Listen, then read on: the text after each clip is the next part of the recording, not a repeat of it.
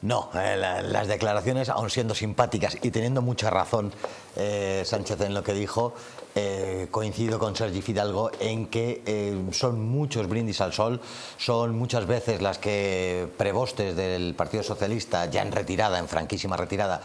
se han manifestado contra Sánchez, pero luego a renglón seguido manifiesta que votan a Sánchez y refrendan de alguna manera todo el sanchismo, con lo cual